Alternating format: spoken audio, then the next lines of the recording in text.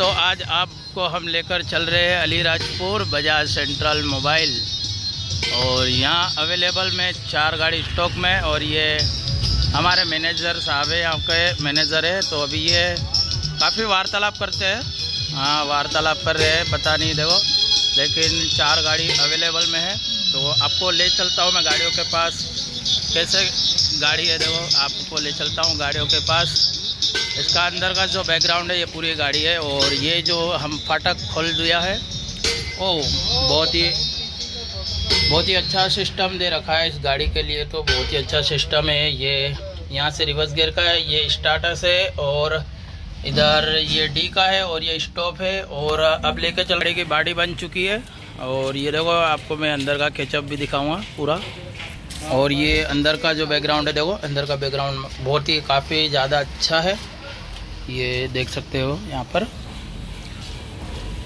अब मैं काफ़ी पास में आ चुका हूँ और जो इसकी बॉडी लाइन देख सकते हो आप, इसकी ये बॉडी लाइन बनी है।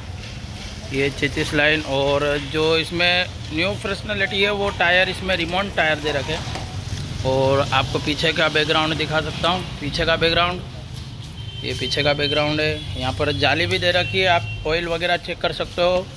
और कूलिंग वाटर भी दे रखा है इसमें। ये पीछे का पूरा बॉडी है। और अब आपको लेकर चलते हैं हमारे यहाँ पर मैनेजर साहब वार्तालाप करते हुए फ़ोन पर और हमारे शंकर भाई भी यहाँ पर मौजूद है और अब दूसरी रिक्शा भी।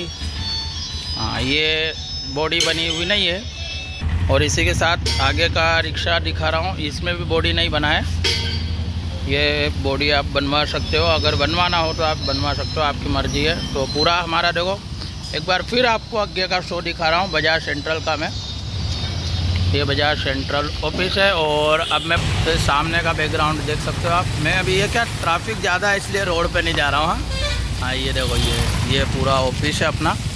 आ, सेंट्रल बजाज ऑटोमोबाइल अलीराजपुर। संपर्क भी कर सकते हो आप हम आपको यहाँ पर नंबर भी देंगे।